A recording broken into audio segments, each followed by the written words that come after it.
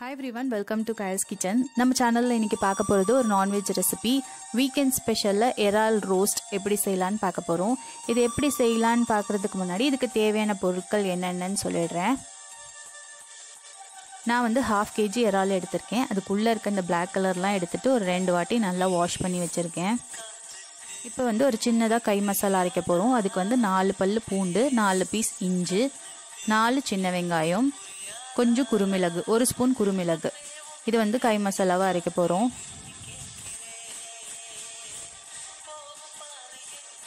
இப்போ இந்த பொருட்களை வந்து நான் அம்மியில் வச்சு ஸ்மூத் பேஸ்ட்டாக அரைச்சிக்கிறேன். உங்ககிட்ட அம்மி இருந்தால் நீங்கள் அம்மியில் அரைங்க அப்படி இல்லைன்னா நீங்கள் மிக்சிலேயே அரைச்சிக்கோங்க. ஆனால் அம்மியில் அரைக்கிறதுக்கும் மிக்சியில் அரைக்கிறதுக்கும் ஒரு பெரிய டிஃப்ரென்ஸ் இருக்கும் மசாலா டேஸ்ட்டில் இந்த ரெசிபிக்கு மட்டும் இல்லைங்க எந்த வித நான்வெஜ் ரெசிபி நீங்கள் செய்கிறதா இருந்தாலும் அம்மியில் வச்சு செஞ்சிங்கன்னா அம்மியில் வச்சு மசாலா அரைச்சிங்கன்னா அதோட டேஸ்ட் வந்து டிஃப்ரெண்ட்டாக இருக்கும். இப்போ நான் வந்து கொஞ்சம் கூட தண்ணி ஊற்றாமல் இஞ்சியில் இருக்க தண்ணியை வச்சு அது வந்து நான் நல்லா ஒரு ஸ்மூத் பேஸ்ட்டாக அரைச்சிட்ருக்கேன்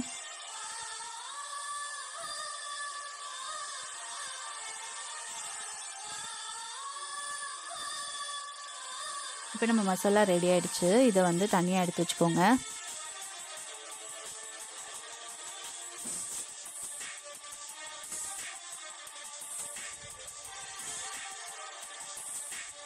இப்போ நம்ம எறாவை வந்து மேரினேட் பண்ண போகிறோம்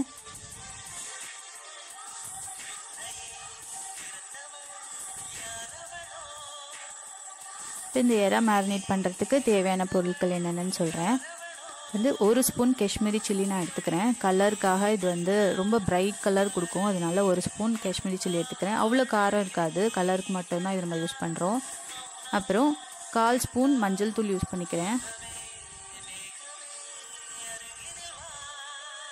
இப்போ கார்ன்ஃப்ளவர் பவுடர் போட்டுக்கலாம்.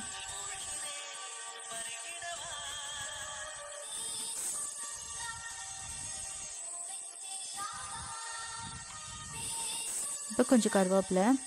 காரத்துக்கு வந்து நம்ம ஏற்கனவே குறுமிளகு வச்சுருக்கோம். அது மட்டும்தான் இதில் இருக்க காரம். காஷ்மீரி சில்லி அவ்வளோ காரம் இருக்காது. இப்போ வந்து கொஞ்சம் லைம் ஜூஸ் ஆட் பண்ணிக்கிறேன் நான்.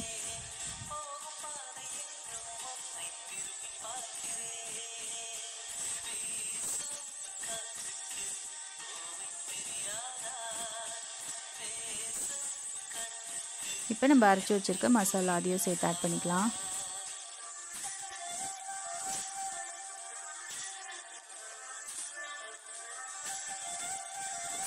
ஒரு ஒரு ஸ்பூன் லெமன் ஜூஸ் நான் ஊற்றிருக்கேன் உங்ககிட்ட லெமன் இருந்தால் ஓகே அப்படி இல்லைன்னா புளி தண்ணி கூட நீங்கள் சேர்த்துக்கலாம்.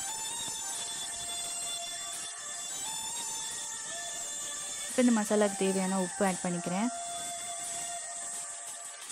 இப்போ இது எல்லாத்தையும் சேர்த்து நம்ம நல்லா மிக்ஸ் பண்ணிவிட்டு ஒரு அரை மணி நேரம் மட்டும் நம்ம நல்லா மேரினேஷனுக்கு டைம் கொடுக்கணும். நல்லா ஊற வைக்கிறதுக்கு ஒரு ஹாஃப் அன் ஹவர் ஃப்ரிட்ஜில் வச்சுருங்க. அப்போ தான் அது வந்து நல்லா கூட்டாகும் மசாலாலாம் உள்ளே இறங்கும். இப்போ நம்ம ஃப்ரை பண்ணுறதுக்கு ஒரு சின்ன பேன் வச்சுக்கோங்க. ஒரு மூணு ஸ்பூன் தேங்காய் எண்ணெய் மட்டும்தாங்க ஊற்றணும் தேங்காய் எண்ணெய் ஊற்றிக்கோங்க அப்போ தான் அந்த டேஸ்ட் நல்லாயிருக்கும் தேங்காய் எண்ணெய் கூட நம்ம கருவேப்பிலை போடும்போது டேஸ்ட் டிஃப்ரெண்ட்டாக இருக்கும். அதனால் தேங்காய் எண்ணெய் யூஸ் பண்ணிக்கோங்க. இப்போ எண்ணெய் சூடானதும் நம்ம மேரினேட் பண்ணி வச்சுருக்க இறால ஒன்று ஒன்றா எடுத்து வச்சிடலாம்.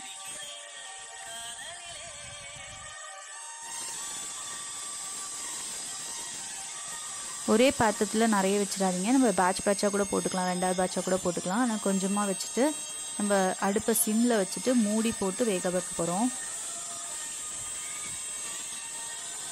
மூடி போட்டுட்டு நீங்கள் ஒரு ஃபைவ் டு சிக்ஸ் மினிட்ஸ் நல்லா எறா வேக வைங்க. இப்போ திறந்து பார்க்கலாம். ஒரு சைடு நல்லா வெந்துருச்சு. இப்போ இன்னொரு சைடு நம்ம திருப்பி ரோஸ்ட் பண்ண போகிறோம்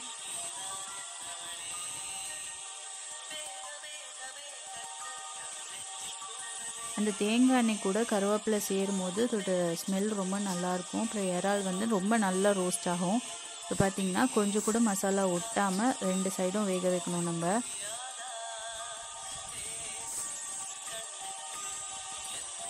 பாத்திரத்தில் கொஞ்சம் கூட அந்த மசாலா இருக்கக்கூடாது. அந்த அளவுக்கு வந்து நீங்கள் சிம்லேயே வச்சு நல்லா ரோஸ்ட் பண்ணுங்கள்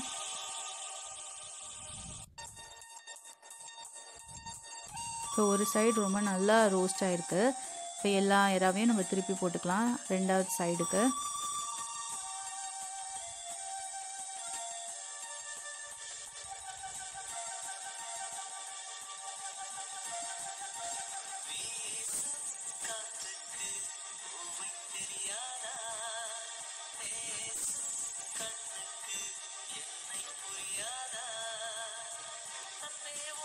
நம்ம காஷ்மீரி சில்லி போட்டதுனால கலர் வந்து ரொம்ப பிரைட் கலரில் இருக்குது பாருங்கள் பார்க்குறதுக்கே அட்ராக்டிவாக இருக்குது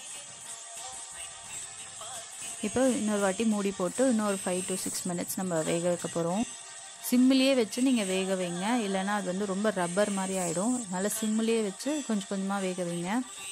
மூடி போட்டு போட்டு நீங்கள் எடுத்து பார்த்தீங்கன்னா அது வந்து அந்த ஜூசினஸ் அப்படியே இருக்கும். ரொம்ப எறா வந்து ஓவர் குக் ஆகாது. நீங்கள் ஹையில் வச்சு ரோஸ்ட் பண்ணிங்கன்னா அது ஓவர் குக் ஆகி ரப்பரி ஆகிடும்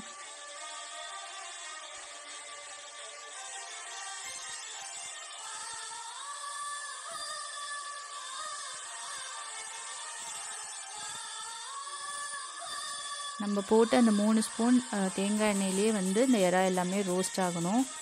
மசாலா கொஞ்சம் கூட பாத்திரத்தில் ஒட்டக்கூடாது.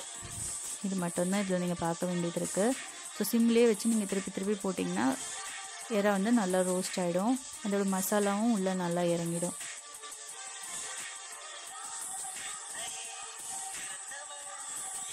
ஸோ ரெண்டாவது பேட்ச் போட்டு எடுத்துக்கலாம்.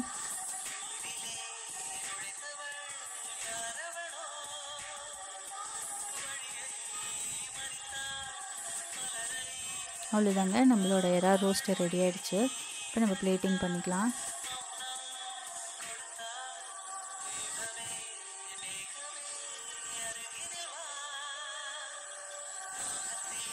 நிறைய பேர் இந்த இறால் ரோஸ்ட் பண்ணி காட்ட சொல்லி கேட்டிருந்தீங்க. உங்கள் எல்லாருக்குமே சேர்ந்து இன்றைக்கி வீடியோ போட்டிருக்கேன். கண்டிப்பாக எல்லாருக்கும் பிடிக்கும்னு நம்புகிறேன் இதே மாதிரி நீங்களும் வீட்டில் ட்ரை பண்ணி பாருங்கள் உங்களுக்கு பிடிச்சிருந்ததுன்னா தன்கைல் கிச்சனுக்கு லைக் பண்ணுங்கள் சப்ஸ்கிரைப் பண்ணுங்கள் இவ்வளோ நேரம் வீடியோ பார்த்ததுக்கு ரொம்ப நன்றி.